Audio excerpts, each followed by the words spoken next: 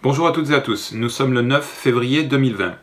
Je reprends ma série sur euh, la spiritualité en vous proposant quatre documentaires, trois desquels sont tirés de la chaîne YouTube Tistria, que je mets en lien dans la description, et un est un documentaire qui a été euh, diffusé sur une chaîne de télévision, alors je ne sais pas si c'est euh, Arte ou une autre chaîne, et je vais vous donner les titres de ces différents documentaires. Alors, le documentaire qui a été diffusé sur une chaîne de télévision s'appelle Et si la mort n'existait pas et il date de 2018.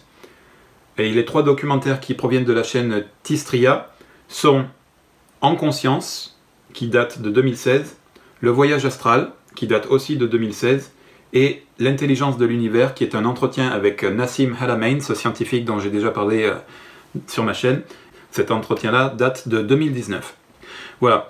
Euh, je vous propose ces euh, documentaires-là parce que d'une part, ils sont bien faits, d'autre part, ils euh, sont abordés sous un angle scientifique. Il y a des interviews de, scientifiques qui étudient ces phénomènes de mort imminente, de sortie hors du corps, et dans le cadre de Nassim Halamein, qui, au travers de ses études scientifiques, de son, de son travail scientifique, arrive à faire le lien entre spiritualité et science.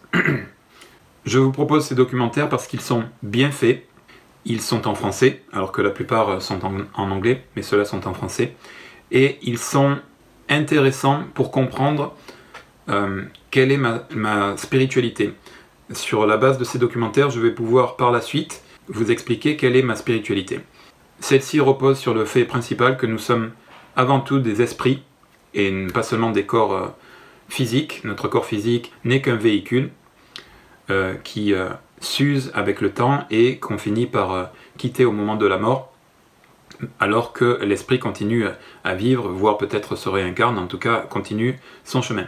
Donc voilà, simplement cette vidéo pour vous présenter ces quatre documentaires que je vous conseille vivement de visionner, qui devraient, je l'espère en tout cas, ouvrir, si ce n'est pas déjà le cas, votre curiosité et votre esprit sur ces différents phénomènes mais pas dans un aspect euh, sensationnaliste, mais plutôt scientifique, raisonnable.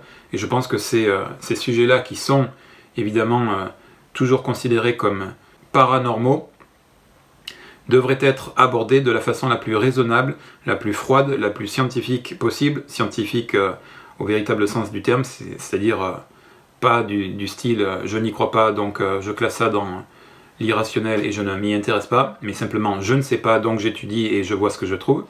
Voilà, je pense que c'est la bonne démarche pour aborder ces euh, thèmes-là. Éviter le sensationnalisme, comme on le voit trop souvent euh, à la télévision, mais plutôt essayer d'aborder ces questions de façon détachée. Je vous recommande le visionnage de ces quatre reportages qui vont me permettre par la suite de développer les bases de ma spiritualité. Sur ce, c'est la fin de cette vidéo. Comme d'habitude, je termine par le triptyque euh, républicain. Liberté, égalité, fraternité, vive la France et vive la spiritualité. Trois desquels sont tirés de la chaîne Tistria, pardon, j'y arrive pas, Tistria, Tistria, putain. Et un est un documentaire qui a été diffusé, il me semble-t-il, il me semble-t-il, il me semble-t-il,